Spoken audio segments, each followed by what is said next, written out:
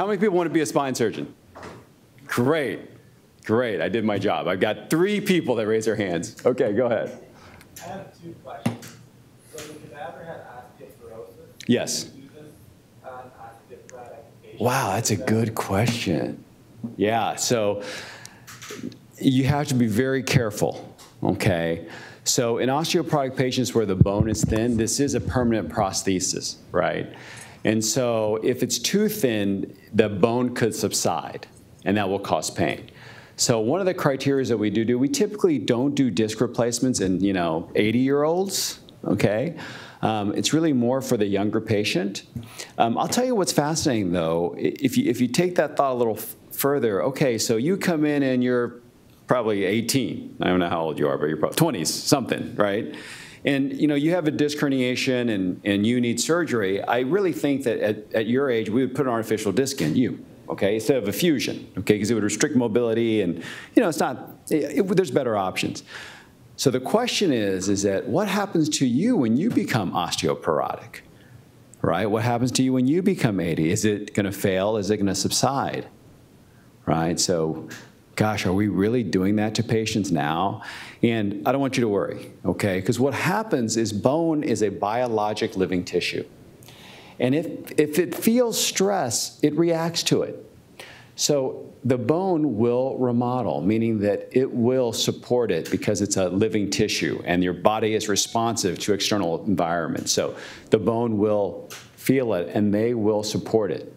Okay. It's just like when you send patients out of space. You know, there's a big research collaboration at UCLA sending astronauts because there's a huge problem when you send astronauts into space involving the skeletal system. What do you think that is? They stretch out, they grow? No, but that's that would be great, but no.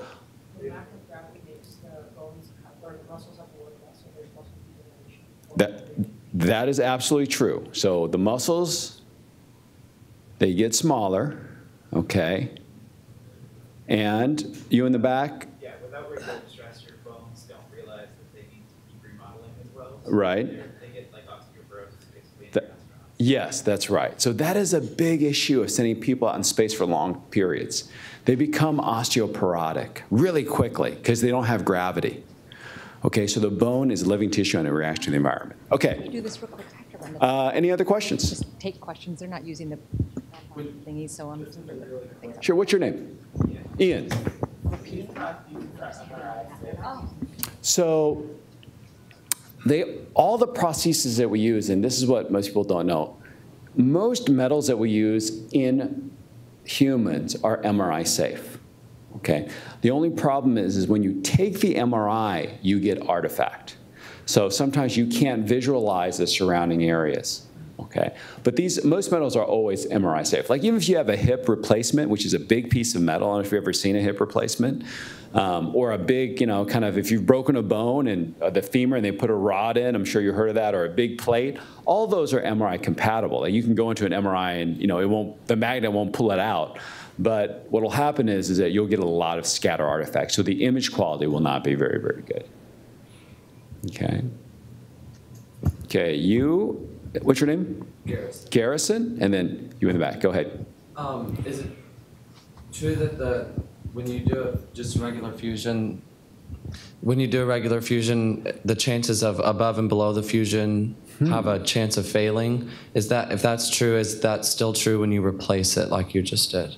Wow. And why did you even think of that question? Do you have some background in spine surgery? No, my mom had a fusion. Your mom had a fusion, and did she have another fusion, or no, but I think she'll have to. she'll have to? Wow. Okay.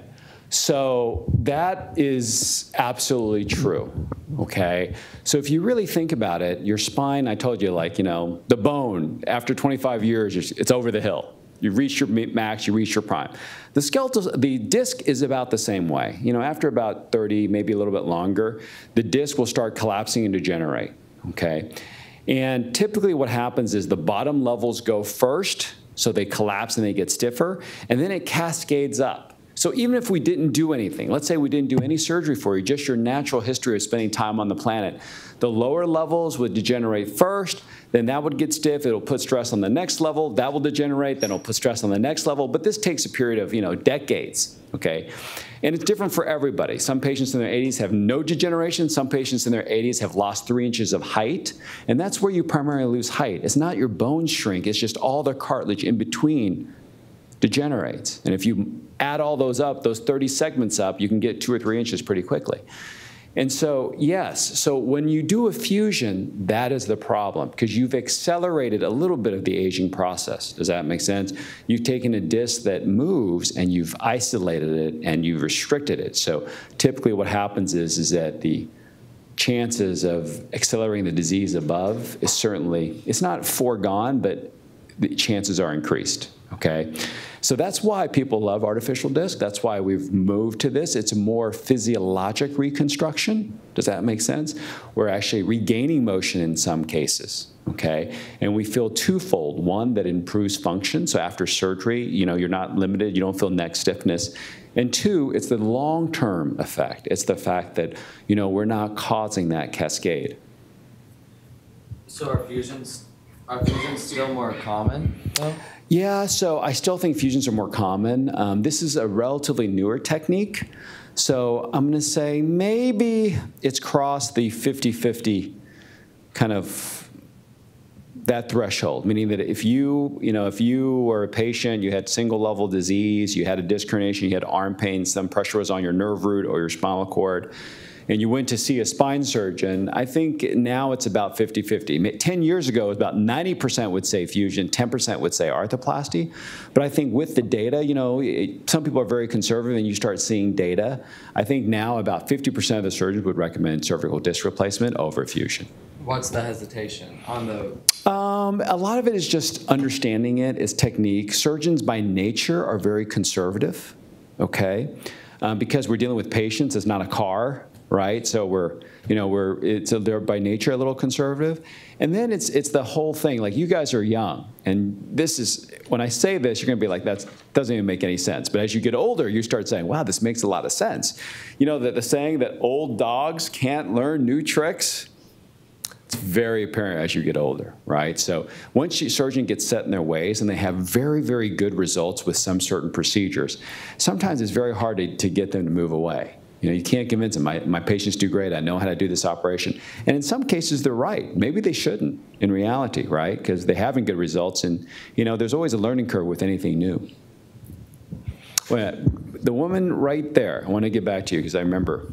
I think you kind of touched base on it, but for like a knee or hip replacement, usually you need a revision after like 15 years or so. Mm -hmm. Um, How many years does this last before a revision? Okay, Or so we don't know. Okay, so the first implant, actually the device I showed you, the first implant in the US was done by myself in California, okay? And that was done in 2004. So the longest we have is about 15 years with that implant, okay? Now, obviously, you know, this is not how we do medical devices. I mean, we mechanically test these devices before we ever get to this stage. And if you really look at the wear characteristics, so a total hip, so we have a lumbar artificial disc too that goes in the lumbar spine. So if you look at the wear characteristics for a total hip, the lumbar artificial disc wear characteristics are about one-tenth that of a total hip. So one-tenth. If you look at the wear characteristics of a cervical disc versus the lumbar disc, it's about one-tenth of the lumbar disc. So one hundredth of the total hip replacement. So we do think that these are very durable. It's, it's, I, I I really feel that these are going to last a lifetime without any need of any revision. Um, obviously, there are other issues that people require hip revisions. It's a different joint. Okay, so this is a, it's called a diarthrodial joint. It has synovium. It's like the same joint of the knee and the hip. You have synovium. It's a little bit different than a monoarthrodial joint where it's just a disc. It's just cartilaginous. There's no fluid. There's no, so it's a little bit different joint. Um, but that being said, I think it's a great question, and, and I do think that these will last my personal opinion that these won't have catastrophic failures. Okay? I want to make sure that I get equal opportunity. I see you. Okay, over here. Uh, my question was, in scoliosis surgeries or correcting lordotic kyphotic spines, where do you draw the line between, you know, this much stiffness versus Yeah. actually correcting it? That is a really insightful question, you know, way beyond your years. You want to be a spine surgeon? Yeah, that's a good question. You should be a spine surgeon, and hopefully you'll figure it out. That's my answer. No. So this is the problem, okay? We don't have anything honestly in between. We have mobility, artificial disc, right? And we have incredibly stiff fusions. That's it. Because we do titanium rods and screws. I don't know if you've ever seen a spine fusion, but that's what it looks like screws and two rods, and we're trying to make things stiffer.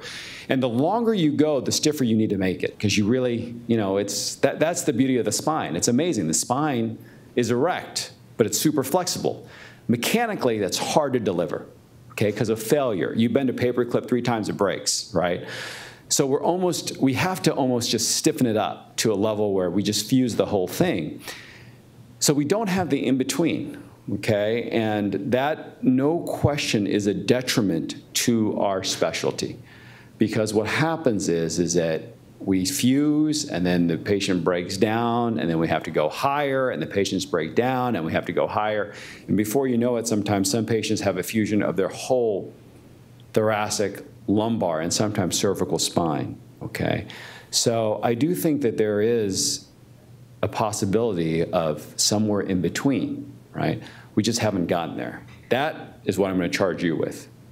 So would you, in- personal preference, I guess, would you rather stiffen and fuse the entire spine to correct a scoliotic spine, or would you rather, you know, just do a section of it and risk the uh, instability?